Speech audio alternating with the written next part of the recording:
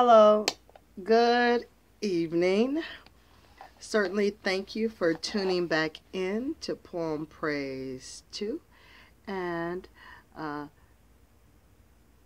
we're going to uh, keep on moving right along. Certainly, while we're going through this, peace and blessings be upon you this evening. Uh, next is PBS Pinchbach or Pinchback. I'm going to say Pinchbach. Congressman. Born 1837 to 1921.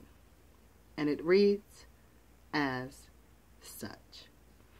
Now, one of the most important leaders of the Reconstruction era was Pinckney Benton Stewart Pinchbach, the eighth of ten children.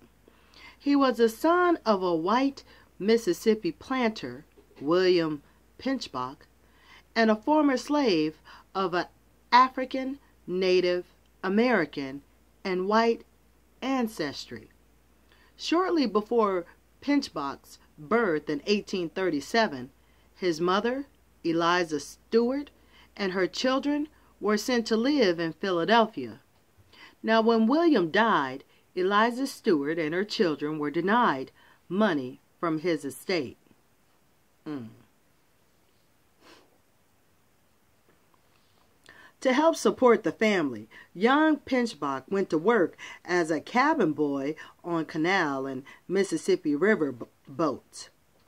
Now, at the outbreak of the Civil War, Pinchbach volunteered for the Union Army. He was assigned to recruit African American soldiers, but soon quit and protest over the Army's discrimination against them.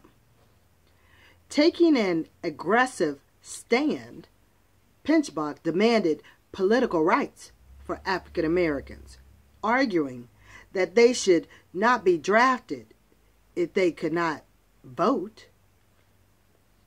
At the conclusion of the war, Pinchbach became active in the Republican Party in Louisiana. He was a strong supporter of universal suffrage a free public school system, and guaranteed civil rights for all people. Elected to the Louisiana State Senate in 1868, Pinchbach introduced legislation outlawing racial discrimination in public places. In 1870, he established the New Orleans Louisianan, a newspaper that remained in operation for 11 years. In 1871, he became lieutenant governor when Oscar J. Dunn, another African American legislature, died. Then, when Governor Henry Clay Warmoth was impeached, Pinchbach served as acting governor from December the 9th to January 13th. Now, in 1872, Pinchbach was elected congressman at large and also U.S. Senator. Both elections were contested, which was not uncommon. Several African Americans elected to Congress were prevented from taking their seats. In a speech that outlined many of his principles, Pinchbach defended his election. Several senators think me a very bad man, but of what does my badness consist? I am bad because I have dared on several important occasions to have an independent opinion. I am bad because I have dared at all times to advocate and insist on exact and equal justice to all mankind.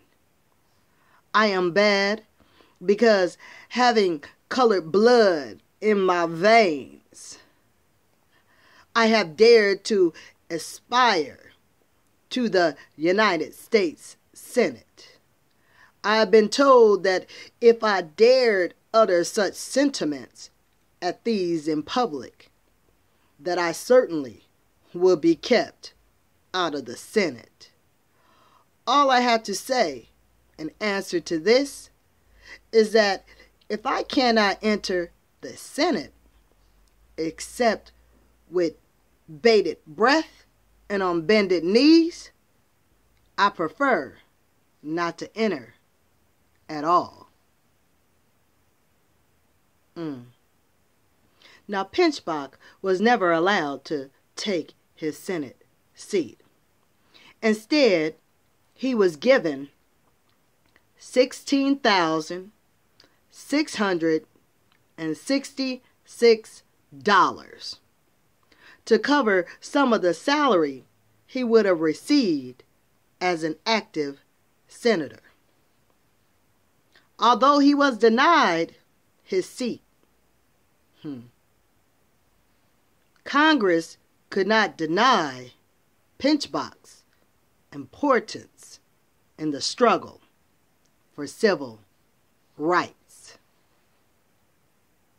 So I'd like to thank you for tuning in um, in regards to P.B.S. Pinchback, the congressman. Hmm.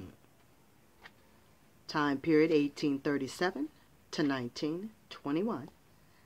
And I'm gonna keep it moving right along this evening, y'all. So, um, at least at least for for a couple more people, because uh, next up is we're gonna have Booker T. Washington, uh, educator, presidential advisor, time period 1856 to 1915. So we definitely have made it to the 1900s. All right. So certainly stay tuned, and I'll be uh, talking with you a little later. So in a minute, y'all. All right. All right.